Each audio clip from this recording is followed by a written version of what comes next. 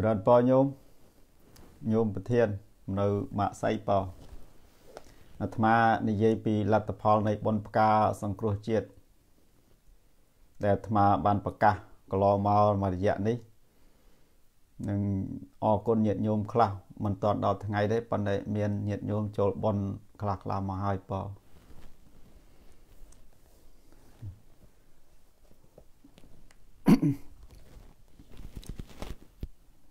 ហើយបច្ច័យនេះនឹងប្រគល់ជូនទៅតំណាងមួយរូបដល់តំណាងមួយរូបនៃគណៈបកសង្គ្រោះជាតិដើម្បីទៅចូលរួមឧបត្ថម្ភដំណើរមាតុភូមិនិវត្តសម្រាប់អឺអ្នកប្រជាធិបតេយ្យមានអាដាមប្រធានសំរងស៊ីបើ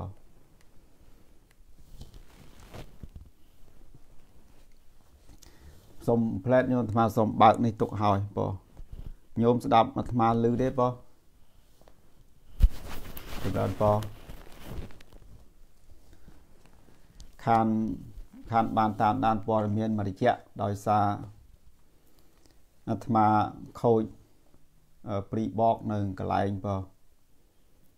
ម្ល៉េះហើយវាបាត់អ៊ីនធឺណិតបើថ្ងៃនេះទើបមានខ្លះប៉ុន្តែមិនដឹងថារត់រួចបានប៉ុន្មានទេបើ អូញោមបានធ្វើបន់បន់ផ្កាដែរបើអាត្មាធ្វើបន់ផ្កាថ្ងៃ24ថ្ងៃ24ខែ3ឆ្នាំ2019ហ្នឹងនៅវត្តធម្មរាំងសីវេលាម៉ោង2រសៀលបាទចម្រើនពរញោមញាតិទាំងអស់គ្នាពរណែ ជួយសុខសប្បាយទាំងអស់គ្នាពរញោមមើលពេជ្រគ្រីស្ទីណាពរនួនញោមប្រធាននៅម៉ាក់សៃអឺថ្ងៃនេះមុននឹងចាប់ដើមកម្មវិធីអាត្មាសូមរៀបរាប់ពីខាងដើមខ្លះចម្រើនពរដើម្បីជាការចូលរួមមតិយោបល់ជុំវិញបញ្ហាដែលកើតមានព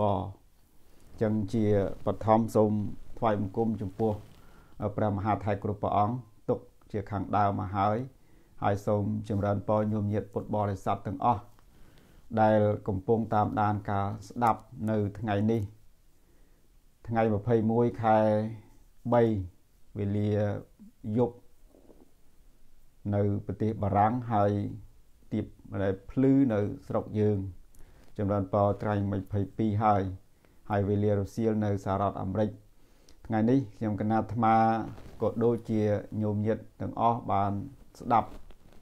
បានតាមដានព័ត៌មានខ្លះឡើងវិញ គឺឃើញមន្ត្រីមួយចំនួនទៅចូលរួមសុំសិទ្ធធ្វើនយោបាយពីគណៈបកប្រជាជនកម្ពុជា របបដឹកនាំក្រុងភ្នំពេញសពថ្ងៃហើយអាត្មាបានសង្កេតពិនិត្យឃើញថា ការដែលទៅសុំសិទ្ធធ្វើនយោបាយនោះវាមិនមែនជារឿងចៃដន្យទេ គឺមានហេតុពីខាងដើមមកខ្លះដំបូងឡើយអាត្មាសង្កេតឃើញមន្ត្រីមួយចំនួន តែងតែតាមយាយីអ្នកប្រជាធិបតេយ្យបង្អាក់បង្ខិតបង្ខានឬក៏រារាំងសកម្មភាព អ្នកប្រជាធិបតេយ្យខ្លះរបស់ មានអាដាមសំរងស៊ីជាដើមហើយបានដាក់ជាសំងល់សំណួរថាហេតុអីបានអ្នកទាំងអស់នោះកើតចេញពីគណៈបកសង្គ្រោះជាតិហើយក៏ធ្វើសកម្មភាពរារាំងរហូតដល់ពេលនេះ យើង សង្កេតឃើញថានៅតែមានបុគ្គលខ្លះក៏នៅតែមានការរារាំងចឹងដែរហើយបុគ្គលខ្លះក៏ទៅសុំសិទ្ធធ្វើនយោបាយហើយ ចម្រើនពរចឹងការដាក់ទុកជីវិតនយោបាយរបស់បុគ្គលដែលទៅសុំសិទ្ធិធ្វើនយោបាយហ្នឹងគឺមិនត្រូវតាមទំនងរបស់សពរោះពីបុរាណកាលមកទេ ហើយបើយើងប្រៀបទៅតាមលក្ខណៈដើមពោវិញវាមិនមែនរលើងទាំងរឹសរលើងទាំងដើមដួលដេកដួលស្ដុកស្ដឹងទេ វាគ្រាន់តែជាការជ្រុះស្លឹកបន្តិចតួចបាក់មែក បន្តិចបន្តួចអញ្ចឹងបើជ្រុះស្លឹកបន្តិចបន្តួច បាក់មែកបន្តិចបន្តួច វាមិនជាការរំខាន ធ្វើឲ្យដើមពោនឹងស្លាប់ទេចម្រើនពរយ៉ាងណាមិញបុគ្គលដែលទៅសុំសិទ្ធិធ្វើនយោបាយពីបុគ្គលដែលសម្លាប់ខ្លួន សម្លាប់ជីវិតនយោបាយរបស់ខ្លួនអានឹងវាគ្រាន់តែជាការបាក់មែកបាក់ធៀងបន្តិចតួចជ្រុះស្លឹកបន្តិចតួចណា ព្រោះព្រោះអ្នកដែលនៅតោងមែកពោកន្លងមកហ្នឹងហើយទៅនាំគ្នាទៅស៊ីផ្លែជ្រៃប៉នឹងពាក្យបុរាណលោកថាប្រោខោតទុំមែកពោស៊ីផ្លែជ្រៃចឹងគ្រាន់តែបាក់មែកបន្តិចតួចប៉ជ្រុះស្លឹកបន្តិចតួចចឹងបុគ្គលដែលទៅសុំសិទ្ធនឹងវាមិននាំឲ្យសង្គ្រោះជាតិចុះខ្សោយទេ វាមិននាំឲ្យសង្គ្រោះជាតិនឹង បាត់បង់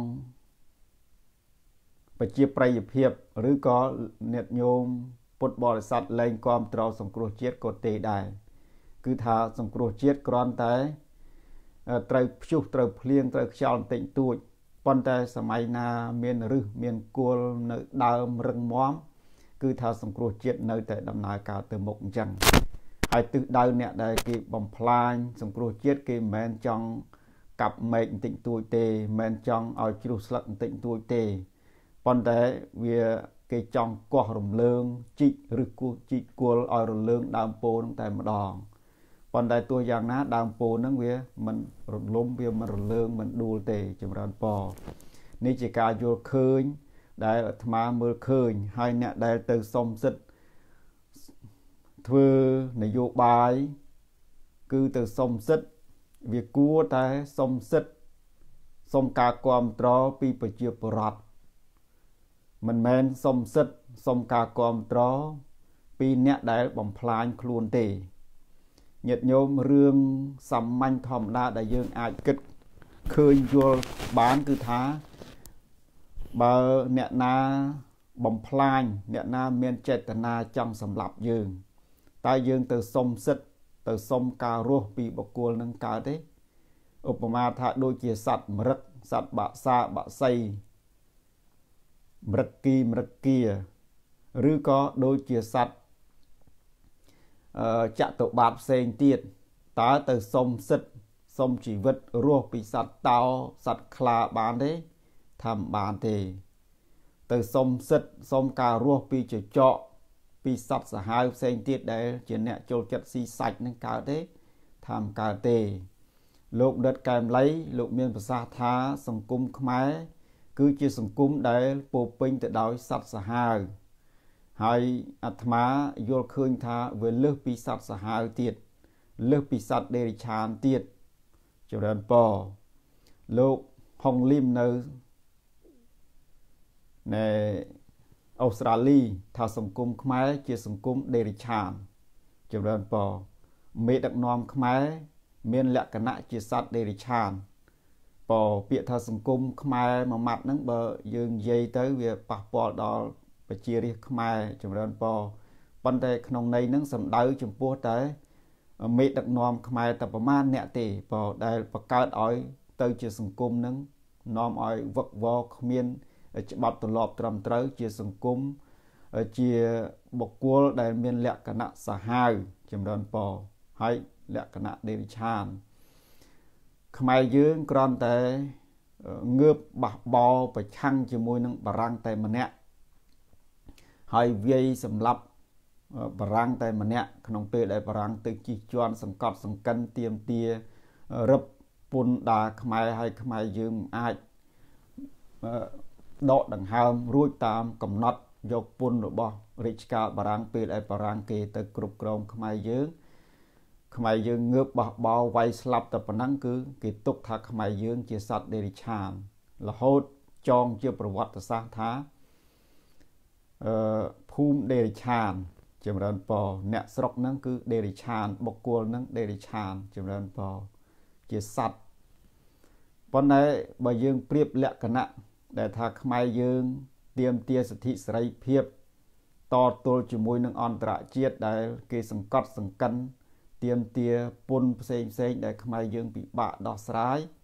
ហើយបើយើងប្រៀបធៀបជាមួយនឹងសង្គមមេដឹកនាំរបបក្រុងភ្នំពេញបច្ចុប្បន្នដែលសង្កត់សង្កិនយាយីធ្វើបាបខ្មែរច្រើនរូបភាពតាំងពីសម័យ យួនចូលមកគ្រប់គ្រងរហូតដល់លើយួននៅ បង្កប់បង្កើតបង្ករៀបចំឱកាសជាបន្តបន្តទៀតហ្នឹងគឺសុទ្ធតែជាឱកាសដែលគេធ្វើបាបធ្វើទុកបុកម្នេញធ្វើឲ្យខ្មែរយើងស្លាប់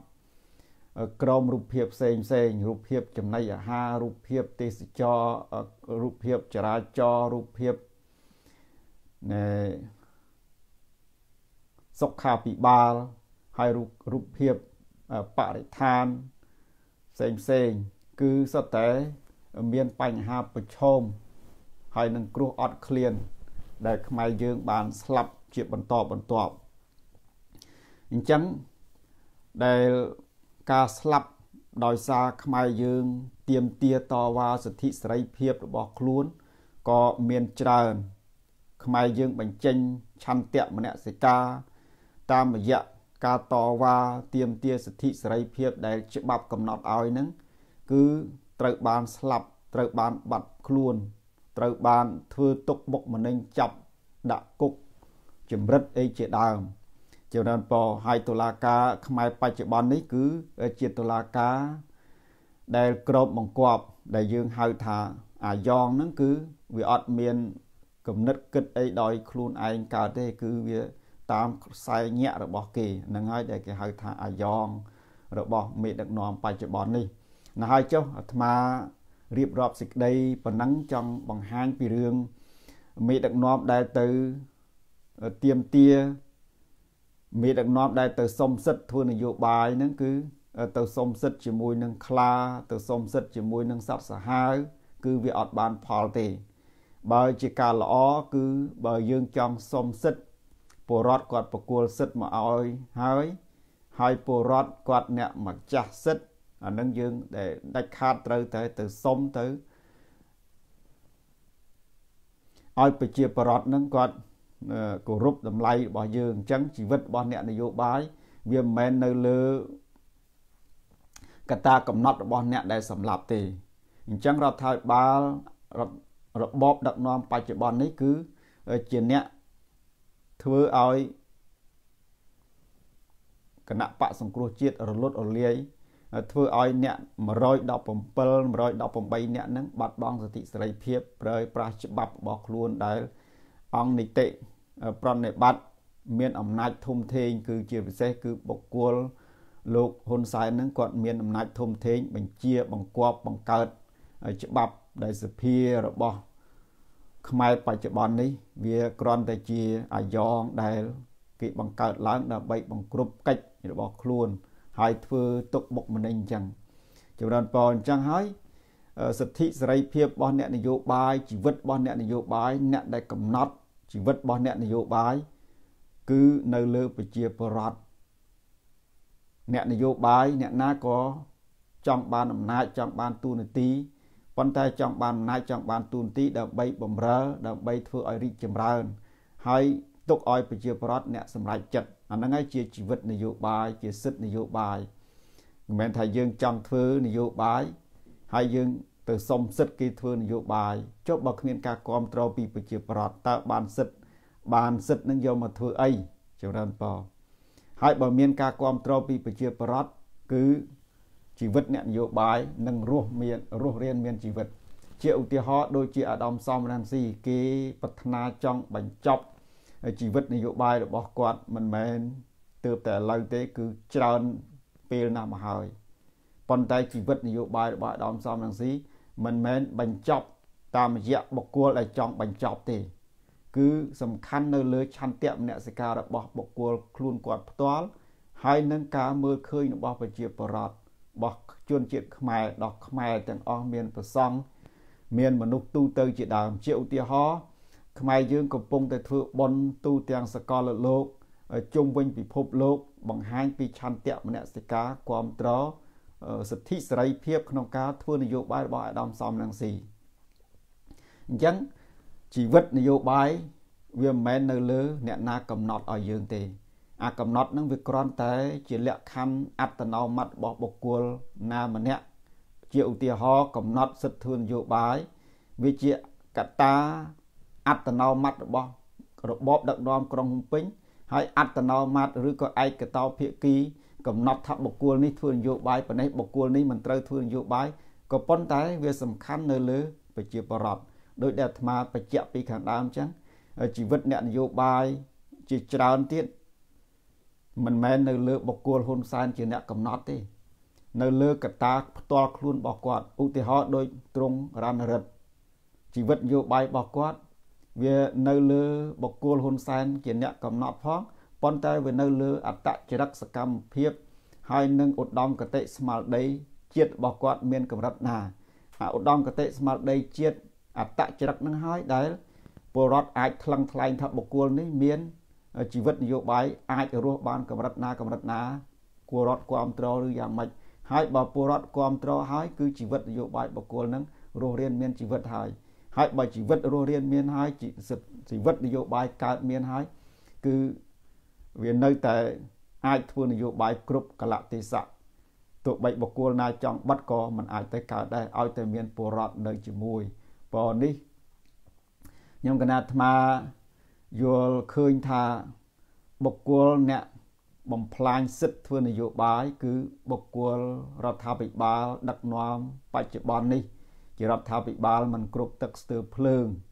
ចម្រើនពរដែលដឹកនាំដោយបុគ្គលគឺលោកហ៊ុនសែនបច្ចុប្បន្ននេះគេយល់មើលឃើញថាมันសមស្របมันត្រូវมันគ្រប់លក្ខណៈជារដ្ឋាភិបាលស្របច្បាប់ដែលទទួលស្គាល់ជាលក្ខណៈអន្តរជាតិទេ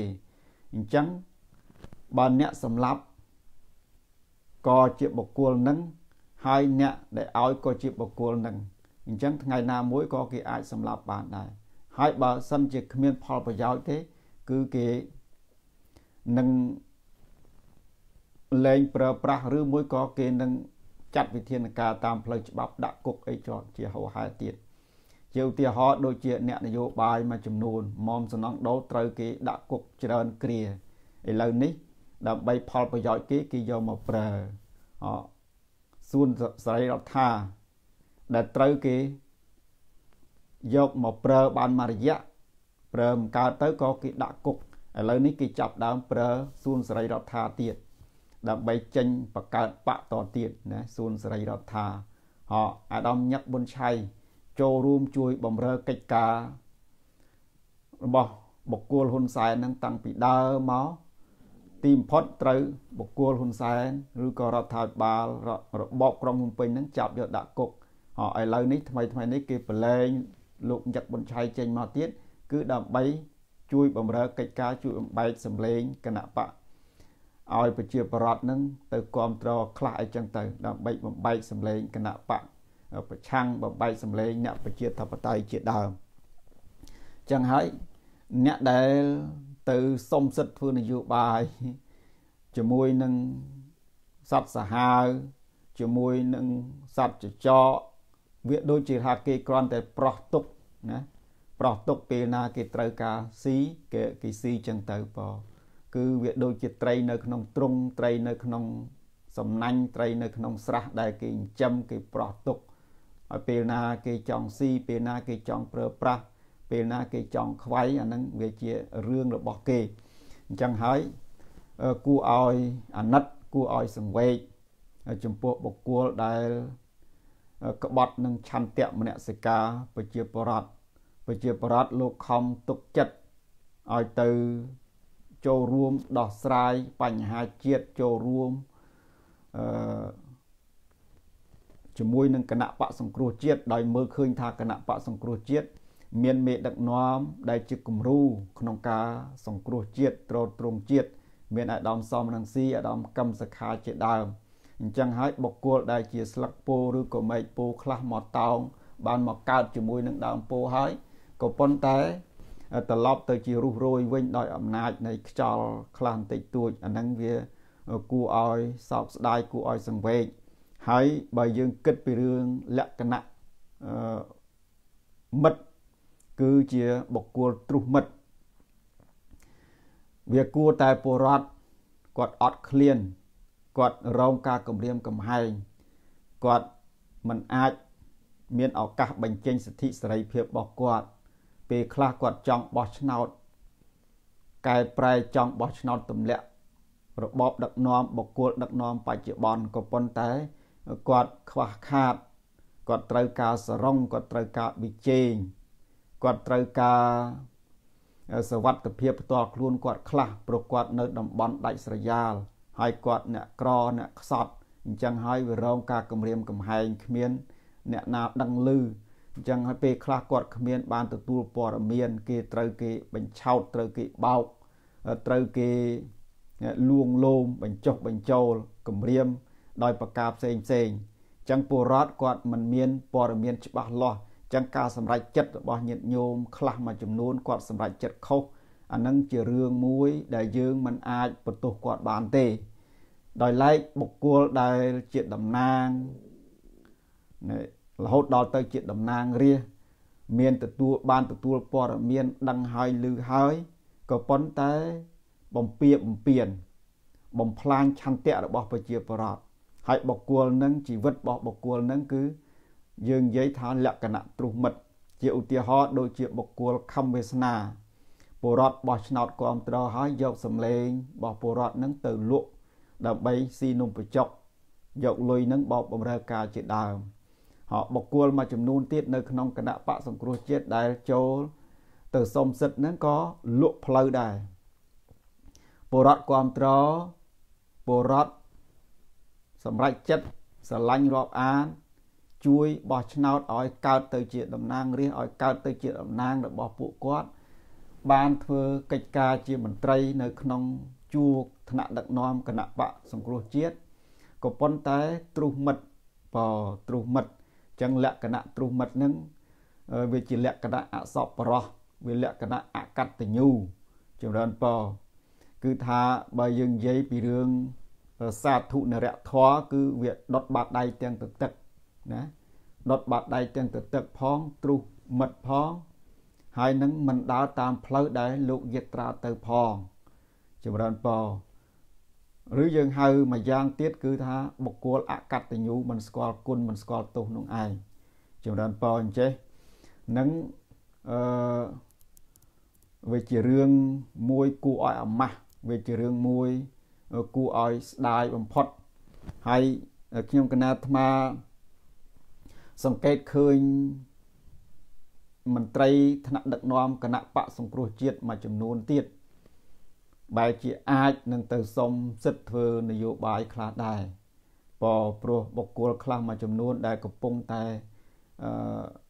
មិនទាន់បញ្ឈប់ការវាយប្រហារទៅលើអ្នកប្រជាធិបតេយ្យមិនទាន់បញ្ឈប់វាយប្រហារទៅលើអាដាមសំរងស៊ីអីហ្នឹងប្រហែលជាអាចទៅទៅសុំសិទ្ធិធ្វើនយោបាយដែរ ក៏ប៉ុន្តែនៅរារែកខ្លះដោយហេតុថាឃើញអ្នកដែលទៅមុនហ្នឹងកិត្តិយសគេឈ្មោះ ស្មារតីជាតិវាលែងមានហើយស្លាប់កិត្តិយសស្លាប់គេឈ្មោះស្លាប់បាត់ធ្លាក់ទៅដល់ក្នុងភពក្នុងច្រំហើយចម្រើនពរដូច្នេះអ្នកមួយចំនួនទៀតកំពុងតែអល់ឯកចម្រើនពរហើយអ្នកមួយចំនួនទៀតហ្នឹងដែលសង្គមអ្នកគ្រប់ត្រនៅខាងក្រៅនេះ ហៅថាពួកអត្រឹមត្រូវហ្នឹងក៏ប្រាថ្នានឹងចង់ទៅសុំសិទ្ធធ្វើនយោបាយអញ្ចឹងដែរប៉ុន្តែនៅអល់ឯកក៏អត់ទាំងអស់ហ្នឹងវាបង្ហាញពីការយល់ដឹងរបស់ប្រជាពលរដ្ឋបង្ហាញពីសម្លេងគ្រប់ត្ររបស់ញាតិញោមនៅតាមមូលដ្ឋានញាតិញោមបើថានៅជាមួយនឹង ប្រជាជនពីដើមមកធ្វើនយោបាយជាមួយនឹងគណៈបកប្រជាជនពីដើមមកมันថ្មីប្រហែលទេថាបុគ្គលនឹងស្គាល់ហើយក៏ប៉ុន្តែរឿងដែលបុគ្គលក្បត់ក្បត់ផាត់នេះអានឹងវាជារឿងគាត់ថ្កោលទោសចឹងហើយបានបុគ្គលខ្លះនៅរារែកចម្រើនពរអាត្មាចេះតែចាំសង្កេតមើលថាតើអ្នកណានឹងទៅទទួលសិទ្ធធ្វើនយោបាយអ្នកណានឹងទៅសុំសិទ្ធខ្លះ មិនពរព្រោះគេមានក្រុមការងារគេមួយចំនួនដែលតាមប្រមាថតាមយាយីតាមរិះគន់ឬក៏តាមវាយប្រហារតាមដុតកិត្តិយសគេឈ្មោះអាដាមសំរងស៊ីនឹងចម្រើនពរនៅមិនទាន់អស់ទេនៅតទៀតអញ្ចឹងហើយបុគ្គលនឹងប្រហែលជាទៅជាបន្តបន្តទៀតហើយព្រោះបើងាកមកនេះក៏ដូចជាពិបាកងាកបានបើអញ្ចឹងអាត្មាបញ្ចប់ រឿងនឹងប៉ុណ្ណឹងចោះនិយាយពីនេះពីនោះមកតទៅនេះអាត្មាចង់បង្ហាញពីរឿងបុណ្យផ្កាសង្គ្រោះជាតិដែលអាត្មារៀបចំជាមួយនឹងញាតិញោមពុទ្ធបរិស័ទវត្តធម្មរាំងសីវត្តបាញើនៅប្រទេសបារាំងនៅថ្ងៃទី24ខែ3ឆ្នាំ2019ខាងមុខនេះ គឺវេលាម៉ោង14 រហូតដល់ម៉ោង17ចម្រើនពរមានកម្មវិធីជួបជុំគ្នាហើយមានភេសជ្ជៈខ្លះសម្រាប់ទទួលញាតិញោមហើយកម្មវិធីនឹងចាប់ដើមដោយកិច្ចសាសនាហើយនឹងនិយាយអឺបរិយាយពន្យល់ហេតុផលក៏ដូចជាបង្ហាញពីកៅផលប្រយោជន៍ បំណងនៃការធ្វើរបស់យើងឲ្យបានពឹស្ដាហើយយើងបានបន់បានកុសលយ៉ាងម៉េចខ្លះពេលដែលយើងធ្វើសម្រាប់សកម្មភាពគ្រប់គ្រងជាតិគ្រប់គ្រងនៃសាសនាគ្រប់គ្រងអ្នកដែលប្រជាធិបតេយ្យដែលមានបំណងចូលរួមសង្គ្រោះជាតិនឹងចម្រើនពរហើយជួយទៅតាមយៈគណៈបកសង្គ្រោះជាតិរហូតដល់ពេលនេះដែលញាតិញោមចូលមកនឹង ពីនេះពីនោះមកបានជាង1000ហើយព1000អឺរ៉ូហើយបនៅ3 4ថ្ងៃទៀតដល់ថ្ងៃចូលហើយញាតិញោមចឹងបើបានដឹងហើយសូមផ្សារភ្ជាប់កិច្ចនឹងផ្ញើជាសែកមកក៏បាន ហើយបើផ្ញើជាសែកដាក់ឈ្មោះដែលអ្នកទទួលនោះអានឹងអាចដាក់ឲ្យមកចូលវត្តក៏បានដែរ ក៏ប៉ុន្តែអាត្មានឹងដូរយកវត្តដូរយកបច្ច័យវត្តហ្នឹងដើម្បីដល់ពេលយើងបានបច្ច័យគឺវាងាយក្នុងការងាយក្នុងការសរុបហើយយកទៅជូនហ្មងបងព្រោះបើយើងដាក់សែកមកយើងអត់ដឹងដាក់ថាតើសែករបស់យើងនឹងត្រូវបញ្ជូនលុយនឹងទៅឲ្យ account កណន័យមួយណាទេអញ្ចឹងហើយបើយើងចូលមកវត្តអាត្មាស្នើថាត្រូវដាក់ បញ្ចូលទៅកណនីធនាគាររបស់វត្តបចូលមកកណនីធនាគាររបស់វត្តដែលមានឈ្មោះថាអក្សរកាត់ ABD ចម្រើនព A ហ្នឹងគឺ association B គឺ Buddhist D ធម្មរាំងសីបគឺពុទ្ធិកសមាគមធម្មរាំងសីហើយក៏នឹងដាក់ប៉ុណ្ណឹងទៅហើយទូរស័ព្ទប្រាប់អាត្មាមក អាត្មានឹងយកសែកនឹងទៅដូរជាមួយនឹងគណៈកម្មការវត្តប្រាប់គេថាបច្ច័យនេះឈ្មោះនេះញាតិញោមចូលមកវត្តទេក៏ប៉ុន្តែចូលជាសែកហើយបើចូលជាសែកអញ្ចឹងហើយអាត្មាសុំដកលុយវត្តដើម្បីយកមករាប់ចំនួនលុយវិញនឹងស្រួលជូនទៅដល់ក្រុមការងារសកម្មភាពសង្គ្រោះជាតិ នេះជាព័ត៌មានបឋមដែលខ្ញុំកណាអាត្មាចាប់ដើមប្រកុកប្រកាសហើយធ្វើការរែងគៀសប្រម៉ែប្រមូលផ្សាយដំណឹងមករហូតដល់ពេលនេះ គឺបានជាង1000ហើយចម្រើនពរញាតិញោមបរិស័ទនឹងគាត់ចូលម្នាក់10ម្នាក់20ម្នាក់150អីចឹងទៅពហើយផ្ញើសាយពីក្រៅមកក៏មានខ្លះដែរ ហើយព័ត៌មានមួយទៀតសូមប្រគេនចម្រើនពរថាលោកតាផលលោកមានបជន102វសាពីដើមលោកបួសនៅក្នុងវត្តធម្មរាំងសីហ្នឹងមួយរយៈកុងក្រោយ2 3ឆ្នាំនេះលោកដោយសារមានអពាតជារាព្យាធិបន្តិចទៅ លោកក៏និមន្តទៅគង់នៅផ្ទះកូនរបស់លោក ព្រោះដើម្បីងាយស្រួលកូនចៅគេបំរើមើលថែដុតដល់ហើយចិត្តពេទ្យផងងាយក្នុងការដែលកូនគេជូនទៅពេទ្យទៅអីថែទាំសុខភាពរបស់លោកព្យាបាលរោគប្រគេនលោកប៉ុន្តែអឺឥឡូវនេះគឺលោកបានអនិច្ចកម្មហើយអនិច្ចកម្ម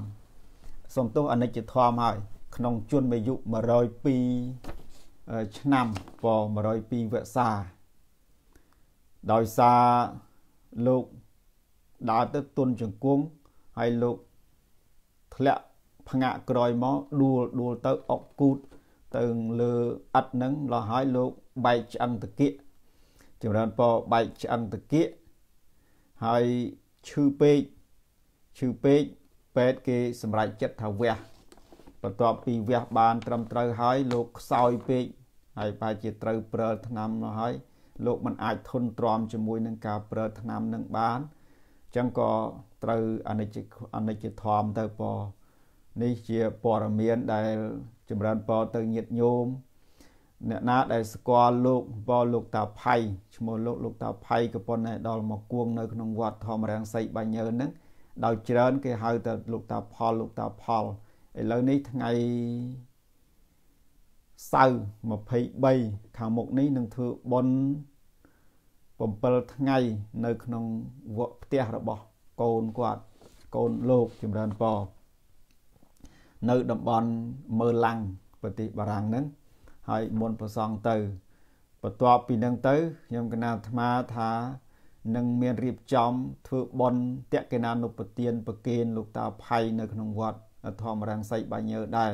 ព្រោះញាតិញោមខ្លះគាត់មិនអាចទៅធ្វើបន់បានដោយសារឆ្ងាយគាត់ពិបាកក្នុងការធ្វើដំណើរទៅផ្ទះកូនលោកចម្រើនពរចឹងហើយបែរជាត្រូវកំណត់ពេលណាមួយបន្ទាប់ពីបុណ្យ7ថ្ងៃហ្នឹងគឺរៀបចំធ្វើបុណ្យតេកិណានុពគៀនប្រគេនកុសលហ្នឹងចំពោះលោកតាផៃពរដែលលោកអនិច្ចកម្មទៅថ្មីថ្មីនេះហើយ ថ្ងៃកំណត់ជាក់លាក់នឹងត្រូវពិគ្រោះជាមួយនឹងគ្រួសារកូនចៅ មានលោកនៅគួងជាដើមគួងនៅ ចម្រើនពរលោកគួងនៅក៏បានចូលបច្ច័យសម្រាប់បនផ្កាសង្គ្រោះជាតិដែរចម្រើនពរសម្រាប់បនផ្កាសង្គ្រោះជាតិដែរកាលពីថ្ងៃទៅចូលរួមបាំងស្គលកាលពី2ថ្ងៃមុនចម្រើនពរចឹងនេះជាព័ត៌មាន សង្ខេបសង្ខេបតាក់ទងរឿងបនផ្កាសង្គ្រោះជាតិបឋមសូមចម្រើនពរជូនប៉ុណ្ណឹងហើយតទៅនេះអាត្មាសូមអានពីរឿងខ្លឹមសារនៃសេចក្តីថ្លែងការណ៍របស់គណៈបកសង្គ្រោះជាតិបន្ទាប់មកអាត្មានឹងដកស្រង់ចំណុចសំខាន់សំខាន់សង្ខេបដើម្បីជាគំនិតយោបល់ជូនដល់ញាតិញោមបន្ថែមទៀត ចឹងហើយសូមញាតិញោមអញ្ជើញស្ដាប់អាត្មាអានសេចក្តីថ្លែងការណ៍របស់គណៈបកសង្គ្រោះជាតិដែលមានខ្លឹមសារដូចតទៅគណៈបកសង្គ្រោះជាតិសេចក្តីថ្លែងការណ៍ការដែលរបបលោកហ៊ុនសែនប្រើប្រាស់តុលាការជាមធ្យោបាយចេញដីកាចាប់ខ្លួនថ្នាក់ដឹកនាំជាន់ខ្ពស់គណៈបកសង្គ្រោះជាតិចំនួន8រូបកាលពីពេលថ្មីថ្មីនេះ បង្ហាញឲ្យឃើញពីការដឹកនាំប្រាសចាកស្មារតីផ្សះផ្សាបង្រួបបង្រួមជាតិនិងពុំឲ្យតម្លៃប្រជាធិបតេយ្យ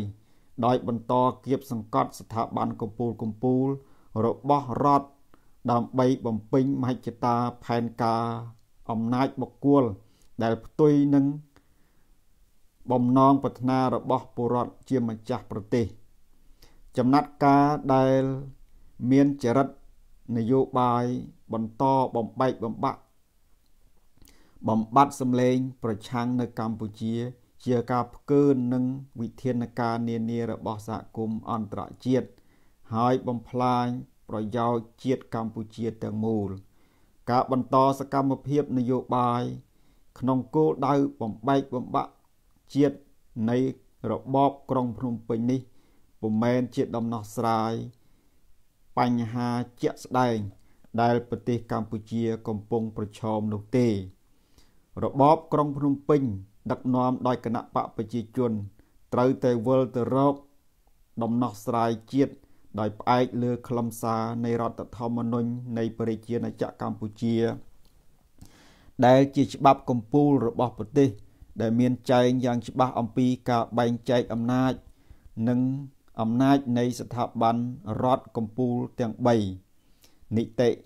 នីតិនីតិបញ្ញត្តិនីតិប្រណិប័តនិងអំណាចតុលាការសិទ្ធិសិទ្ធិជាម្ចាស់ប្រទេសនៃពលរដ្ឋខ្មែរទូទៅ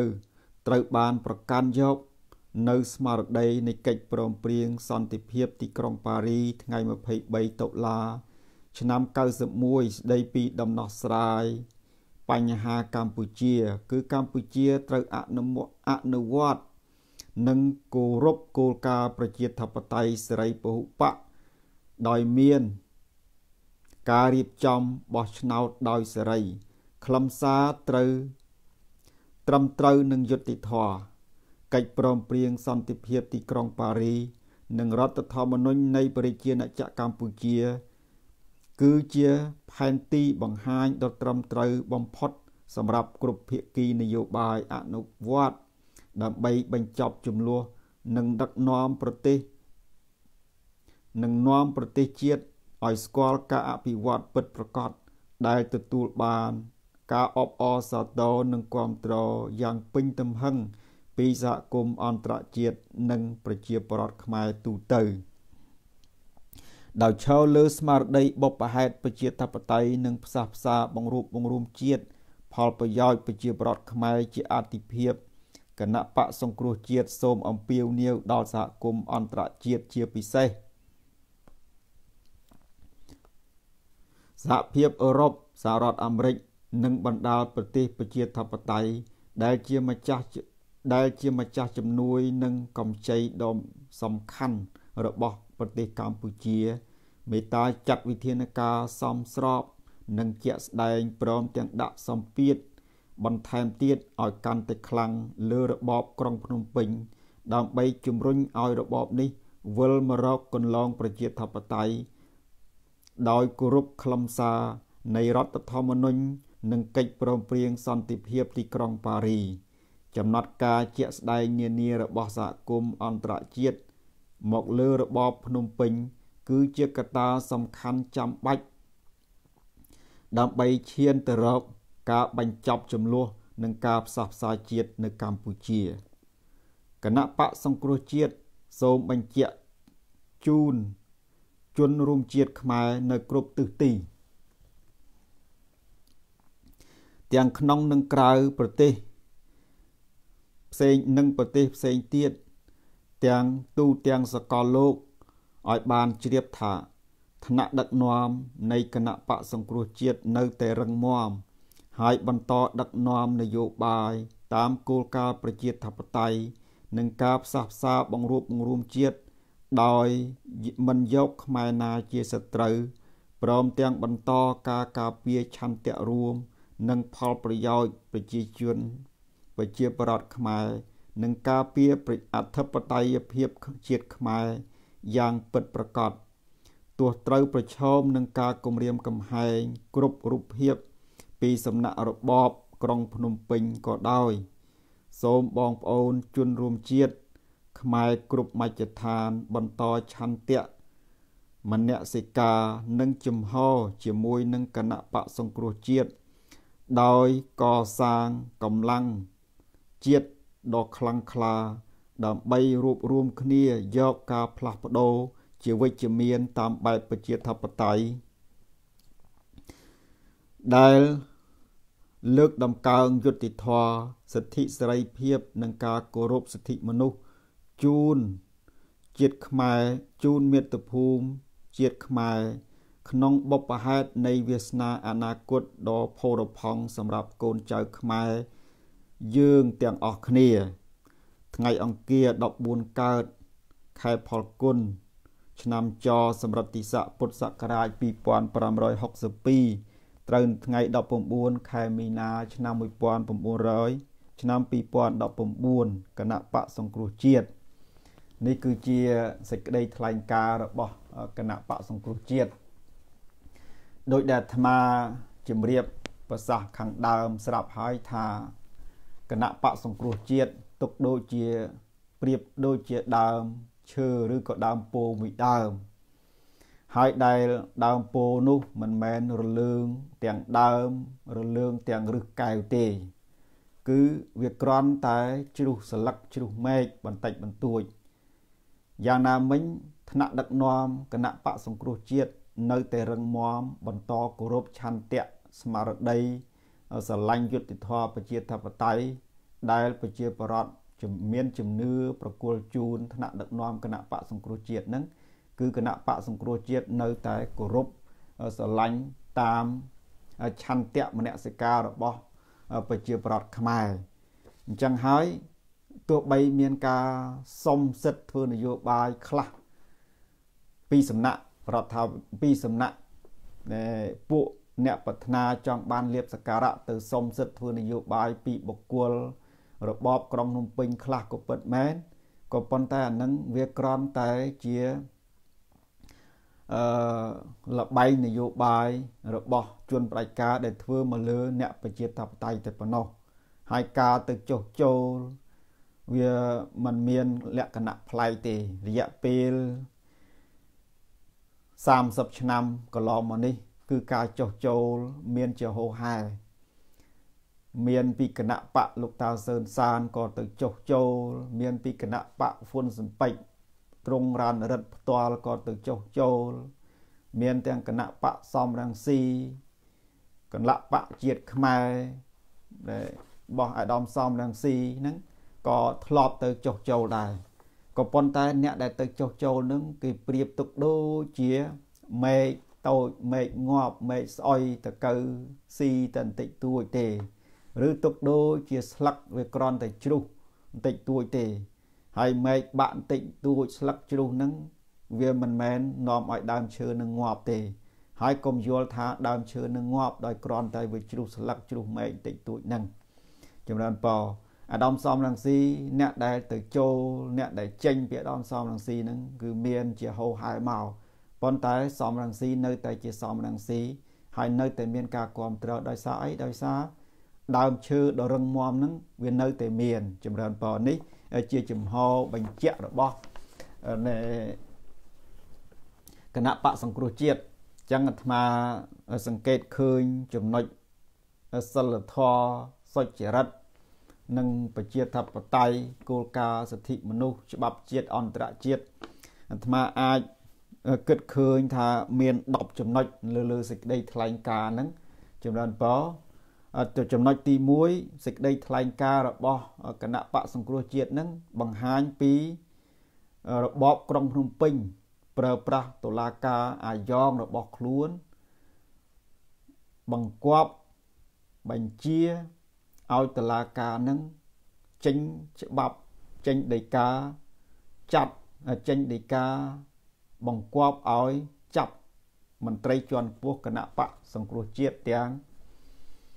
8រូបមានអាដាមសំរងស៊ីលោកជំទាវមួសុកហួរអេងឆៃអៀងឡុងរីអ៊ូច័ន្ទរិទ្ធហើយប្រមាណអ្នកទៀតអាត្មាភ្លេចហើយចឹង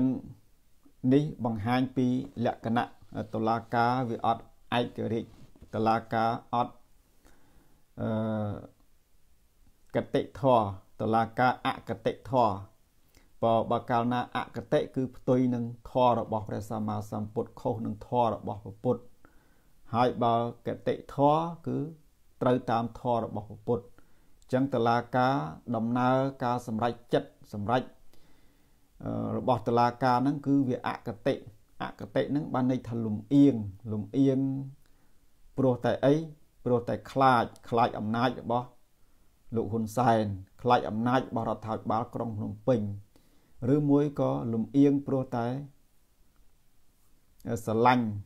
ស្រឡាញ់អីស្រឡាញ់លុយស្រឡាញ់គណៈបកប្រជាជនដោយសារគណៈបកប្រជាជនជួយចិញ្ចឹមអីចឹងទៅណាស្រឡាញ់គេឈ្មោះស្រឡាញ់មុខមាត់អីហ្នឹងអាហ្នឹងលំអៀងចឹងបើហើយលំអៀងព្រោះតែស្អប់ ណែស្អប់ព្រោះអីព្រោះតឡាការហ្នឹងភាកច្រើន គឺសុទ្ធតែពួកមន្ត្រីរបស់គណៈបកប្រជាជនឧទាហរណ៍ដូចលោកដិតមន្ទីប្រធានតុលាការហើយដែលចូលរួមចំណែករំលាយសង្គ្រោះជាតិហ្នឹងគឺជាមន្ត្រីណាមន្ត្រីជាន់ខ្ពស់របស់គណៈបកប្រជាជនអញ្ចឹងអាមន្ត្រីជាន់ខ្ពស់គណៈបកប្រជាជនហ្នឹងធ្វើតុលាការផងឲ្យមេដឹកនាំគណៈបកប្រជាជនហ្នឹង អំណាចនីតិបញ្ញត្តិនីតិប្រណិប័តហ្នឹងវានៅលាយឡំគ្នា ជាពិសេសគឺនីតិប្រណិប័តអំណាចរដ្ឋាភិបាលបុគ្គលលោកហ៊ុនសែនហ្នឹងវាក្របដណ្ដប់លើតុលាការនេះបង្ហាញសេចក្តីថ្លែងការណ៍របស់គណៈបកសង្គ្រោះជាតិមើលឃើញថាអញ្ចឹងដែលទាំងការមើលឃើញនឹងគឺអ្នកណាក៏ឃើញដែរប្រជាប្រដ្ឋប្រសង់សហគមន៍ជាតិអន្តរជាតិមើលឃើញគ្រប់គ្នា ទី2គឺគ្មានស្មារតីផ្សះផ្សាជាតិទេគឺគ្មានស្មារតីផ្សះផ្សាជាតិគឺផ្កើនជាមួយនឹងអន្តរជាតិពេលដែលអឺរ៉ុបគេបញ្ជូនតំណាងរបស់គេទៅ ខ្មែរក្នុងគោលបំណងជួយផ្សះផ្សា បង្រួបបង្រួមឲ្យខ្មែរយើងវិលមករកកន្លងប្រជាធិបតេយ្យវិញ គឺរដ្ឋាភិបាលរបបភ្នំពេញ បច្ចុប្បន្ននឹងផ្កើនជាមួយនឹងអន្តរជាតិនេះ បង្ហាញពីការដែលថាគ្មានឆន្ទៈគ្មានស្មារតីស្រឡាញ់ជាតិស្រឡាញ់ប្រជាប្រដ្ឋទោះបីប្រយោជន៍ជាតិដែលគេយកទៅប្រគល់ឲ្យយ៉ាងម៉ាក់ណាក៏ដោយដូចជារឿង EBA ការអនុគ្រោះពន្ធ GSP របស់ EU របស់សហរដ្ឋអាមេរិកហ្នឹងគឺថាគ្មានស្មារតីផ្សះផ្សាជាតិគឺมันស្រឡាញ់ប្រជាប្រដ្ឋហើយទី3គឺថាបំពេញមហិច្ឆតាផែនការបុគ្គល ផែនតាផែនការអំណាចបុគ្គលគឺអ្វីដែលរបបភ្នំពេញធ្វើបច្ចុប្បន្នហ្នឹងគឺវាបង្ហាញពីមហិច្ឆតារបស់លោកហ៊ុនសែនផែនការអំណាចការពារអំណាចរបស់បុគ្គលនឹងជាជាង ការពារអំណាច ការពារអំណាចពលរដ្ឋការពារសិទ្ធិរបស់ពលរដ្ឋគឺគ្មានទេធ្វើអ្វីអ្វី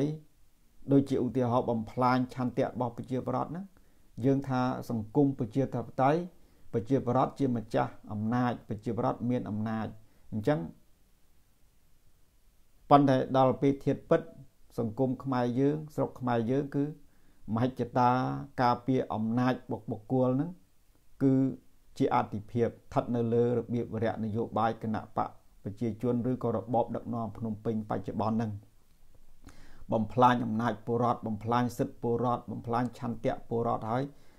ព្រោះអីព្រោះតែបំពេញមហិច្ឆតាការពារផែនការអំណាចបុគ្គលគឺលោកហ៊ុនសែននិងបពពួកគ្រូសាទាំងអស់ហ្នឹងហើយទាំងអស់ហ្នឹងដែលនាំឲ្យជាតិរបស់យើងមានភាពវឹកវរហិនហោចហោវិធានការអន្តរជាតិដែលគេស្នើឡើងណាវិធានការអន្តរជាតិដែលគេស្នើឡើងសុទ្ធតែ ផលប្រយោជន៍ជាតិផលប្រយោជន៍ប្រជាពលរដ្ឋខ្មែរប៉ុន្តែនៅតែផ្កើនចម្រើនពហើយនិយាយយ៉ាង ក៏ឃ្លឿនថាมันលក់អធិបតេយ្យភាពជាតិគឺសហភាពអឺរ៉ុបសហរដ្ឋអាមេរិកគេអត់ដែលទៅ រំលោភបំពានអធិបតេយ្យភាពខ្មែរយើងទេគេគ្រាន់តែស្នើឲ្យខ្មែរយើងគោរពសិទ្ធិមនុស្សឲ្យខ្មែរយើងគោរពគោលការណ៍ប្រជាធិបតេយ្យឲ្យដោះលែងលោកកឹមសុខាឲ្យគណៈបកសង្គ្រោះជាតិមានដំណើរការឡើងវិញហើយដែលមកក្រមមេឃនឹងគឺអ្នកណាក៏ដឹងដែរលោកកឹមសុខាគ្មានទោសទេ ដែលចោតលោកកឹមសុខាថាសន្តិទ្ធភាពខុបខិតជាមួយនឹងអាមេរិកហ្នឹងគឺការចោតទាំងក៏ក្លឿនទាំងងងើលគឺគ្មានមូលដ្ឋានពិតប្រាកដទេ ហើយបើយើងនិយាយពីរូបភាពនៃសន្តិទ្ធភាពខុបខិតបំផ្លាញផលប្រយោជន៍ជាតិវិញគឺគ្មានណាធ្វើច្រើនជាងហ៊ុនសែនទេគឺលោកហ៊ុនសែននឹងធ្វើសន្តិទ្ធភាពខុបខិត តាំងពីឆ្នាំ79មកម្លេះនឹងយើងនិយាយពីរឿងដែលគាត់ចូលមក ត្រូវបានគេហៅថាលើកបន្ទប់ដោយរបបក្រុងភ្នំពេញលោកក្រុមបបក្រុងភ្នំពេញដឹកនាំដោយហ៊ុនសែនដែលបន្ទប់ដោយយួនមកហ្នឹងគឺសន្តិទ្ធភាពខុបខិតជាមួយនឹងអន្តរជាតិពេញទីហើយសន្តិទ្ធភាពហ្នឹងយ៉ាងម៉េចសន្តិទ្ធភាពហ្នឹងគឺអំពើដែលគេដឹងឮអំពើក្បត់ជាតិអំពើបំផ្លិចបំផ្លាញផលប្រយោជន៍ជាតិធ្វើឲ្យប៉ះពាល់សន្តិសុខសន្តិធ្នាប់ធ្វើឲ្យ ខ្មែរខាតបង់ធ្វើឲ្យខ្មែរស្លាប់ហ្នឹងអាហ្នឹងឯងជាសន្តិទ្ធភាពហើយលោកហ៊ុនសែនខុបខិតជាមួយយួនឲ្យខ្មែរទៅ ក្នុងគោលនយោបាយក5ជាន់មានចក្រុនចាញ់ស្លាប់អាហ្នឹងឯងសិតសន្តិទ្ធភាពចុះបោះបកគោលព្រំដែនវាស់បោះបកគោលព្រំដែនឲ្យខ្មែរបាត់បង់ទឹកដីអាហ្នឹងហើយសន្តិទ្ធភាពជាមួយយួនខុបខិតជាមួយយួន កិច្ចព្រមព្រៀងសន្តិភាពទីក្រុងប៉ារីគេកំណត់ឲ្យលោកហ៊ុនសែនកំណត់ឲ្យរដ្ឋាភិបាលនឹងលុបអាកិច្ចព្រមព្រៀងនឹងដែលវានាំឲ្យខ្មែរយើងបាត់បង់ទឹកដីខ្មែរយើងបាត់បង់ផលប្រយោជន៍ទឹកសមុទ្រអីជាដើមបាត់បង់កោះត្រល់នឹងយួនហ៊ុនសែនខុបខិតជាមួយនឹងរដ្ឋាភិបាលយួនចុះសន្ធិសញ្ញាបំពេញបន្ថែមស្ងាត់ស្ងាត់គម្រាមកំហែងសមាជិកគម្រាមកំហែងបពប្រឆាំងគម្រាមកំហែង អ្នកផ្សេងផ្សេងគម្រាមកំហែងពលរដ្ឋមិនអោយនិយាយស្ដីនឹងសិតតែជាអំពើខុបខិតញាតិញោមជាអំពើខុបខិតហើយអាហ្នឹងឯងសន្តិទ្ធភាពដែលហ៊ុនសែនធ្វើជាមួយនឹងបរទេសហ្នឹងបងហើយរឿងច្រើនទៀតដែលផ្ដាល់ដីសម្បទានដល់ទៅយួនប្តីសម្បទានទៅដល់ចិនណាខុបខិតជាមួយនឹងបរទេសជួញដូរគ្រឿងញៀនគ្រឿងសង្វឹងលក់ខ្សាច់ណា នាំមាសខុសច្បាប់ចូលមកមិនបងពុនអីជាដើមពិតពើពុកលួយខុបខិតជាមួយចិនឲ្យចិននឹងចូលមកប្រទេសផ្ដាស់ខុបខិតជាមួយយួនឲ្យយួនសញ្ជាតិយួននឹងប្រទេសផ្ដាស់ឲ្យយួនមកនៅពេញទឹកពេញដី លើទឹកដីខ្មែរដោយគ្មានច្បាប់ទម្លាប់អីហ្នឹងអានឹងសិតតែជាអំពើខុបខិតដែលរបបដឹកនាំផងដែលបកគលលោកហ៊ុនសែនផង ដែលប្រើប្រាស់អំណាចរបស់គាត់នឹងធ្វើឲ្យ ដូចថារដ្ឋាភិបាលធ្វើឲ្យដូចថាមន្ត្រីបពុរបស់គាត់នឹងទៅចុះញោមជាមួយនឹងអំណាចយួនខ្លាចគាត់ដកខ្លាចគាត់ធ្វើបាបលោកប៉ែនសវណ្ណដែលប្រឆាំងជាមួយនឹងយួនត្រូវហ៊ុនសែននឹងគេហៅថាបូយមាត់បត់ដុំដៃខុបខិតជាមួយនឹងយួនទៅចាប់លោកប៉ែនសវណ្ណអីជាដើមហើយខុបខិតជាមួយនឹងបរទេសផ្សេងទៀតបង្កើតទៅជារឿងឧក្រិដ្ឋកម្មនៅក្នុងស្រុកខ្មែរយើងស្មុកស្មាញ នយោបាយខ្មែរចាក់ស្រេះដោះមិនរួចនឹងដោយសារតែការខុបខិតរបស់លោកហ៊ុនសែនជាមួយនឹងបរទេសចិនមួយនឹងបរទេសយួននឹងបើសិនជាគ្មានចិនគ្មានយួនដែលហ៊ុនសែនខុបខិតជាមួយនឹងរឿងខ្មែរយើងស្រួលដោះស្រាយទេចម្រើនពរនេះបង្ហាញសេចក្តីឃើញថាដើម្បីផ្កើនជាមួយនឹងសហគមន៍អន្តរជាតិគេមានបំណងល្អសោះសូមឲ្យដោះលែងកម្មសខា សូមឲ្យខ្មែរគោរពសិទ្ធិពលរដ្ឋសូមឲ្យសង្គ្រោះជាតិមានដំណើរការឡើងវិញសូមឲ្យកុំឲ្យហាមគេធ្វើនយោបាយគឺគេមានសិទ្ធិធ្វើនយោបាយគេបានគ្រប់គ្រងពីប្រជាពលរដ្ឋប្រជាពលរដ្ឋគ្រប់គ្រងបោះឆ្នោតឲ្យត្រូវតែ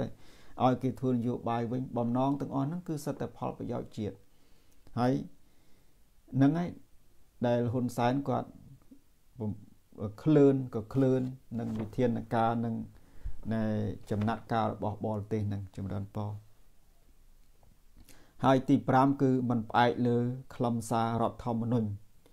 ខ្លឹមសាររដ្ឋធម្មនុញ្ញនៃប្រជាណាចក្រកម្ពុជានឹងខ្លឹមសាររដ្ឋធម្មនុញ្ញយ៉ាងម៉េចគឺថាចែងថាអំណាច3ចែកត្រូវចែកពីគ្នាអំណាចនីតិបញ្ញត្តិខាងរដ្ឋសភាព្រឹទ្ធសភាត្រូវចែកឲ្យដាច់ចឹងទៅអំណាចនីតិប្រតិបត្តិ អ្នកដែលអនុវត្តគឺមានរដ្ឋាភិបាលដែលកើតចេញពីការបោះឆ្នោតត្រឹមត្រូវហើយអំណាចតុលាការទាំង3ហ្នឹងកុំឲ្យវាច្រឡូកច្រឡំគ្នាត្រូវមានអំណាចនេះថាឯករាជ្យចេញពីគ្នាប៉ុន្តែអាទាំង3ហ្នឹងគឺអាទាំង2ផ្សេងហ្នឹងគឺនៅក្រោមតែអំណាចប្រតិបត្តិអំណាចប្រតិបត្តិហ្នឹងគឺរដ្ឋាភិបាលតាមពិតយើងថារដ្ឋាភិបាលវាតំណាងដោយ មនុស្សមួយចំនួនដែលត្រូវគ្រប់គ្រងដោយប្រជាប្រដ្ឋកើតចេញពីប្រជាប្រដ្ឋប្រជាប្រដ្ឋបោះឆ្នោតក៏ប៉ុន្តែសពថ្ងៃអ្នកដឹកនាំស្រុកហ្នឹងវាគឺជាបុគ្គលគឺជាគ្រួសារដែរមានស្អីជារបស់រដ្ឋអត់ទេព្រោះដីធ្លីបឹងទលេសមុទ្រស្ទឹងអីវាសុទ្ធសម្បត្តិឯកជនអស់លីងហើយមានសម្បត្តិរដ្ឋមកពីណាអានេះវាក៏យករដ្ឋមកគាត់ធ្វើជាខែលតែប៉ុណ្ណឹងតាមពិតនឹងសម្បត្តិមកស្រុកខ្មែរហ្នឹងនៅជាសម្បត្តិឯកជនរបស់ ជាពិសេសបោះបកគោលហ៊ុនសែនបោះបពពួកគ្រួសារកូនចៅគាត់នឹងគាត់ចង់យកមួយណាក៏បានបោះគាត់បឹងទលេស្ទឹងកន្លែងណាក៏ជារបស់រដ្ឋប៉ុន្តែមានរដ្ឋមានពលរដ្ឋណាមានអំណាចមានបកគោលណា ដែលថាជាសក្ទុកជាសម្បត្តិរួមកើតបងគឺគេយកចែកគ្នាកនកនចែកគ្នាអស់លីងចម្រើនបងហ្នឹងដោយសារអំណាចបុគ្គលនឹងវាធំណា ហើយហ្នឹងវាផ្ទុយនឹងរដ្ឋធម្មនុញ្ញនៃប្រជាណាចក្រកម្ពុជាហើយយើងនិយាយពីរឿងស្មារតីកិច្ចព្រមព្រៀងទី6គណៈបកសង្គ្រោះជាតិបានរំលឹកពីរឿងកិច្ចព្រមព្រៀងសន្តិភាពទីក្រុងប៉ារីសញ្ញេថាម៉េចខ្លះបុគ្គលណាអ្នកសញ្ញេខ្លះសញ្ញេថាម៉េចខ្លះសម្រាប់ដំណោះស្រាយជាតិរបស់យើងនឹងគ្រប់អីខ្លះគ្រប់ធ្វើឲ្យប្រទេសខ្មែរនឹងមានអីសេរីពហុបក មានបកគណៈបកច្រើនហើយគណៈបកដែលអនអនទុកគណៈបកដែលគេខ្លាំងបំផ្លាញគេចោលនឹងវាផ្ទុយពីកិច្ចព្រមព្រៀងសន្តិភាពទីក្រុងប៉ារីនឹងហើយកិច្ចព្រមព្រៀងសន្តិភាពទីក្រុងប៉ារីនឹងគេចែងមិនខ្លះសន្ធិសញ្ញាទាំងឡាយណាដែលហ៊ុនសែនចុះជាមួយនឹងយួនដែលវានាំឲ្យខាតបងផលប្រយោជន៍ជាតិ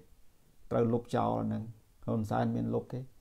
មានតែអាណាហ៊ានលុបគឺហ៊ុនសែន ឲ្យធ្វើក្តាមឈូសទៀតមិនបង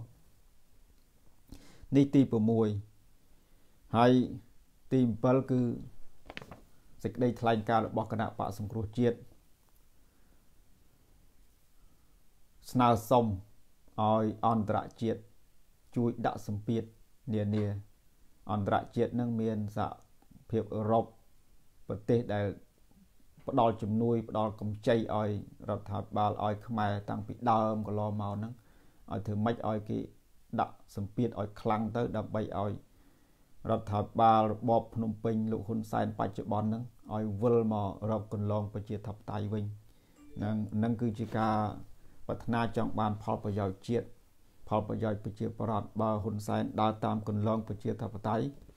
គឺប្រទេសខ្មែរនឹងបានសុខសប្បាយហើយហើយលោកសខេងក៏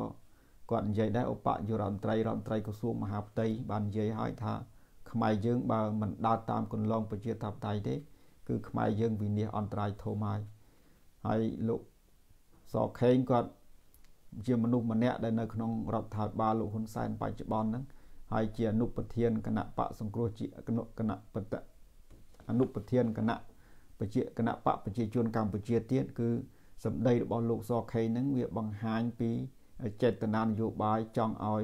ខ្មែរយើងដើរតាមកន្លងប្រជាធិបតេយ្យហើយអ្នកដែលរឹងរូសមានអ្នកប្រឆាំងព្រោះគាត់មិនចង់ដើរតាមកន្លងប្រជាធិបតេយ្យហ្នឹងគឺលោកហ៊ុនសែននឹងឯងកន្លងប្រជាធិបតេយ្យគឺពលរដ្ឋអ្នកមានអំណាចពលរដ្ឋមានសិទ្ធិបោះឆ្នោតត្រឹមត្រូវវាគម្រាមកំហែងដល់អំណាចរបស់គាត់វាធ្វើឲ្យគាត់បាត់បង់ផលប្រយោជន៍បុគ្គលបពពួកគ្រួសារគាត់នឹងដល់ហើយគាត់ មិនចង់ឲ្យមានប្រជាធិបតេយ្យពិតប្រាកដទេគណៈបកសង្គ្រោះជាតិបានបញ្ជាក់ចំហឲ្យថាមេដឹកនាំគណៈបកសង្គ្រោះជាតិមេដឹកនាំកពូលកពូលនៅតែរឹងនេះថាចំហរឹងមាំទោះបីត្រូវការគម្រាមកំហែងសម្លុតយ៉ាងណាក៏ដោយសូមឲ្យប្រជាប្រដ្ឋផ្ដល់ជំនឿជឿទុកចិត្តគណៈបក សង្គ្រោះជាតិមេដឹកនាំគណៈបកសង្គ្រោះជាតិធំធំគឺមិនបោះបង់ប្រជាប្រដ្ឋទេដែលពលរដ្ឋគ្រប់ត្រឲ្យគាត់កន្លងមកហ្នឹងគឺនៅតែបន្តតស៊ូលើឆាកជាតិអន្តរជាតិគ្រប់រូបភាព តាមដែលអាចធ្វើទៅបានដើម្បីទាមទារឲ្យខ្មែរយើងនឹងមានប្រជាធិបតេយ្យសម្រាប់ជាតិរបស់យើងអញ្ចឹងចំហនឹងរឹងមាំมันងាករេទៅសុំសិទ្ធិធ្វើនយោបាយដោយដែលញាតញោមឃើញ បុគ្គលមេឃបាក់ខ្លះស្លឹកជ្រុះខ្លះទៅតាមខ្យល់តាមការទិញដូរនោះទេចម្រើនពរហើយចំហហ្នឹងក៏បញ្ជាក់ដែរថាចង់បានការផ្សះផ្សាជាតិមិនយកខ្មែរណាជាសត្រូវទេនឹងគឺជាទ្រឹស្ដីរបស់លោកកឹមសុខាមិនយកខ្មែរណាជាសត្រូវទេ គឺថាចង់ឲ្យបានការបង្រួបបង្រួមជាតិផ្សះផ្សាជាតិឃើញថាខ្មែរយើងវាបែកបាក់ជាតិកន្លងមកហើយប៉ុន្តែ ចរិតនយោបាយមហិច្ឆតាការពារអំណាចបុគ្គលរបស់លោកហ៊ុនសែនគឺគាត់សត្រូវជាមួយនឹងជាតិរបស់ខ្លួនសត្រូវជាមួយនឹងអ្នកប្រជាធិបតេយ្យសត្រូវជាមួយនឹងប្រជាប្រដ្ឋជាងពាក់កដាលដែលបំផ្លាញឆន្ទៈរបស់ប្រជាប្រដ្ឋទាំងអស់ហ្នឹងគឺមានលក្ខណៈផុយស្រួយណាស់វាអាចនឹងប្រជាប្រដ្ឋគាត់ទប់កំហឹងបាន វាកើតទៅជារឿងចលាចលផ្សេងផ្សេងទៀត នេះជាការព្រួយបារម្ភរបស់មនុស្សជាច្រើនមានរួមទាំងសកលោកសខេងផងចម្រើនពរឲ្យទី9គឺសាមគ្គីអឺរួមជាកម្លាំងមួយចំពោះអ្នកប្រជាធិបតេយ្យនៅតែបន្តសាមគ្គីជាពិសេសគឺថាចង់បញ្ជាក់ពីរឿងចំហសាមគ្គីរវាងអាដាមសំនិងស៊ីកឹមសខានឹងចម្រើនពរឲ្យប្រាថ្នាចង់ តស៊ូតាមគ្រប់មធ្យោបាយដែលអាចធ្វើទៅបាន ជាពិសេសគឺថាចង់បានការផ្លាស់ប្ដូរជាលក្ខណៈវិជ្ជមានមួយ តាមបែបប្រជាធិបតេយ្យមិនមែនហិង្សាប្រដាប់អាវុធសង្គ្រាមចម្បាំងរាំងជួលដូចដែលហ៊ុនសែនធ្លាប់និយាយទេលោកហ៊ុនសែនគាត់យកលេសថាគាត់បើសង្គ្រោះជាតិឈ្នះគឺមានសង្គ្រាមហើយហើយសង្គ្រោះជាតិចំហរបស់សង្គ្រោះជាតិគឺគ្រប់ពេលទាំងអស់យើងចង់ផ្លាស់ប្ដូរមេដឹកនាំតាមបែបប្រជាធិបតេយ្យ គឺថាមិនមែនបែបប្រដាប់អាវុធបែបហិង្សាទេ គឺបែបស្លឹកឆ្នោត គឺថាប្រកួតប្រជែងជាលក្ខណៈក្រមសិលធម៌លក្ខណៈសពរោះទុកឲ្យពលរដ្ឋអ្នកសម្រេចចិត្តពលរដ្ឋពេញចិត្តទៅខាងណាទៅក្នុងទៅឲ្យតែមានឱកាសរៀបចំបោះឆ្នោតហើយមានន័យថាការប្រកួតប្រជែងដោយស្មារភាពដោយសមភាពសមធម៌ហ្នឹងចម្រើនពរ ហើយទី10គណៈបកសង្គ្រោះជាតិបញ្ជាក់ពីបំណងរបស់ពលរដ្ឋបំណងរបស់ពលរដ្ឋគឺចង់បានសុខសន្តិភាពហើយប៉ុន្តែសុខសន្តិភាពមិនមែនសុខសន្តិភាពคล้ายคล้ายដោយលោកហ៊ុនសែនតែនិយាយសពថ្ងៃទេហើយបើព្រះអង្គគ្រូងិនភេនអន្តបញ្ញោបជនជាង90វិសាហើយព្រះអង្គគ្រូមានធរណីកាថាសន្តិភាពរបស់លោកហ៊ុនសែននឹងមាន សន្តិភាពបើផឹកស្រាសបាយឡូឡាអាវ៉ាសែអញ្ចឹងទៅកុំធ្វើអីអានឹងសន្តិភាពនឹងបានបើ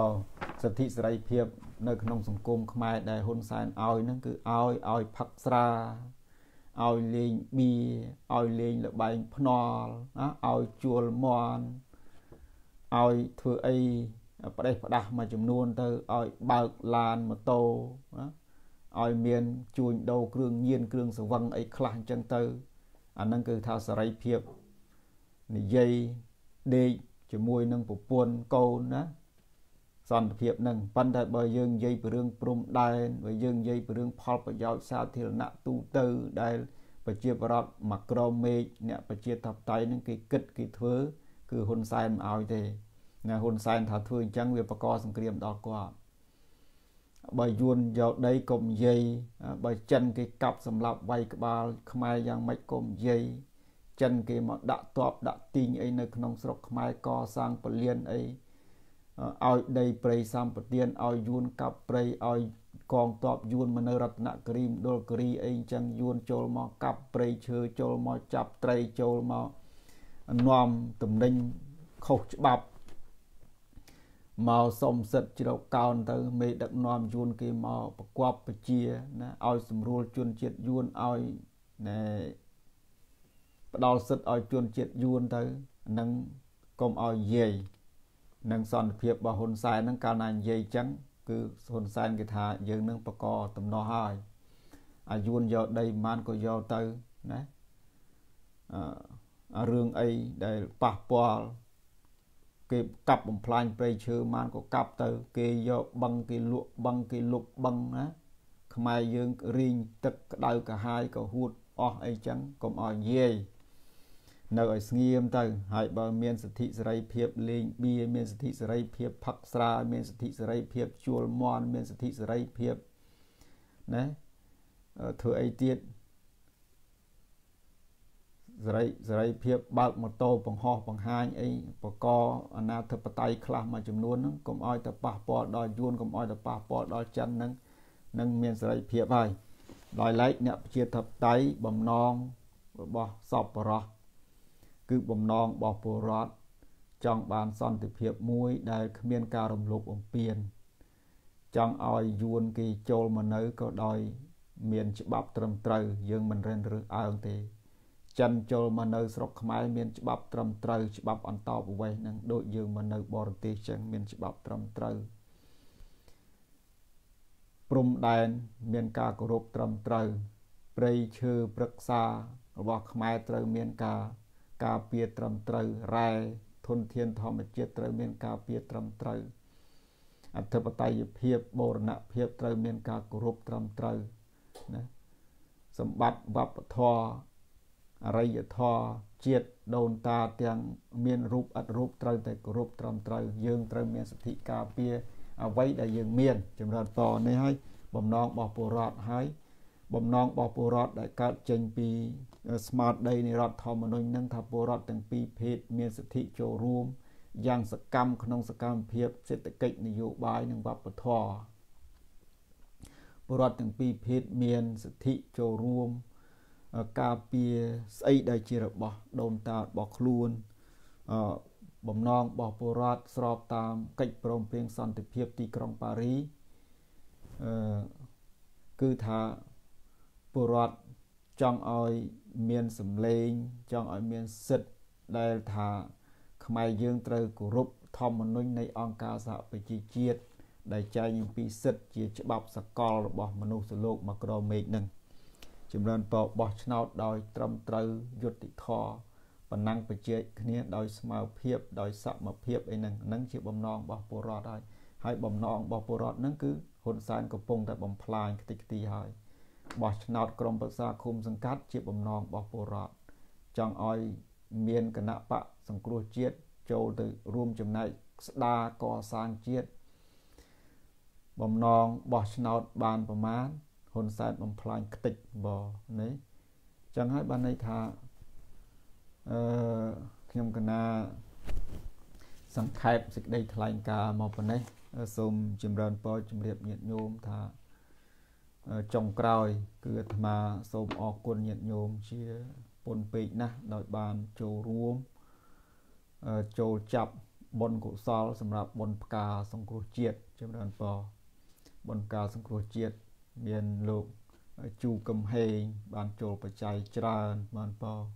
ហើយនឹងញាតញោមលោកគង់នៅណាញាតញោមផ្សេងទៀតដែលខ្លះមិនអោយបង្ហាញឈ្មោះមិនអោយចុះឈ្មោះទេគាត់តែចូលបច្ច័យមកមិនអោយផ្សាយទេប៉ុន្តែមករហូតដល់នេះលទ្ធផលបឋមនេះបានជាង1000អឺរ៉ូហើយញោមចាំមើលលទ្ធផលថ្ងៃ24ហ្នឹងនឹងបានប្រមាណថែមទៀតណាចម្រើនពរអាត្មាគិតថា มันបានប្រកាសដំណឹងច្រើន បានធ្វើសបុតអីឲ្យបានតែ3000យកឲ្យញាតិញោមពរចឹងសូមអរគុណសូមចម្រើនពរផ្ញើសារនេះជូនដល់ញាតិញោមហើយពេលវេលាព្រឹកនៅបរិជាណាចក្រកម្ពុជាមាតុភូមិកំណើតរបស់យើង សូមចម្រើនពរថាអរុនសួស្តីហើយនៅស្រុកបារាំងពេលរាត្រីនេះថារាត្រីសួស្តីនៅអាមេរិកថាអា ស័យយ័នសួស្តីដល់ញាតិញោមទាំងអស់គ្នាបើសូមគោរពថ្វាយបង្គំប្រធេរានុធេរៈចម្រើនពរញាតិញោមតែប៉ុណ្ណេះបង